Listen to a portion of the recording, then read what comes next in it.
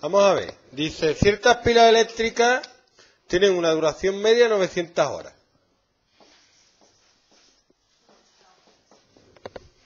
Y una desviación típica de 80 horas.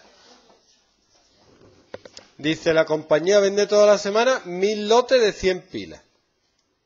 Calcula en cuántos lotes cabe esperar que la media de las duraciones sobrepase las 910 horas. Entonces, esto es la media de la población. Pero tú tienes que estudiar la media de la muestra, y las muestras son lotes. Y los lotes, dice que cada lote tiene 100 pilas cada uno. Entonces lo está agrupando de 100 en 100, y n es 100. Entonces esto sería una distribución normal. O sea, la población sigue una distribución normal de media 900 y de desviación típica 80.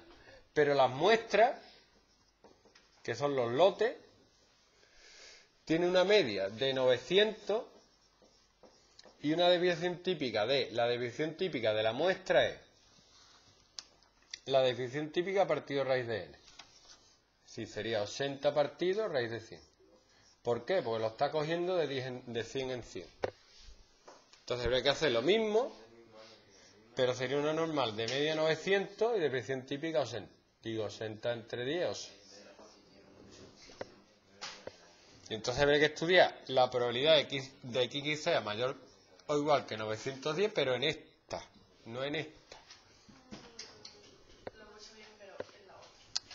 Dice, la probabilidad de que una muestra de 64 pilas, pues sería lo mismo, pero si son 64 pilas, la media es la misma, pero la desviación típica es la desviación típica partido raíz de 64. Entonces sería una distribución normal de media 900 y desviación típica 10. Y ya ahí se tipifica y bla, bla, bla, bla.